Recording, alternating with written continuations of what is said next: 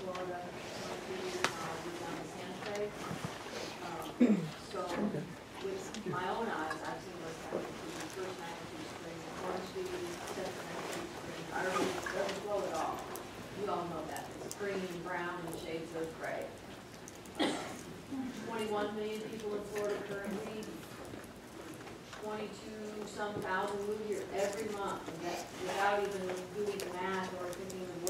population is as it's expanding, or population growth, just the people that are gonna move here, we have no business selling any more water.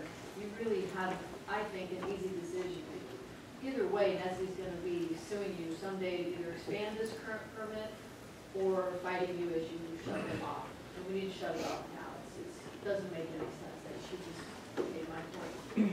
So, if the time is now, in my opinion, where there's no public interest to be served by this permit. I don't know how we would derive so I certainly hope for the twenty-two million of us, we uh, get to keep our water, our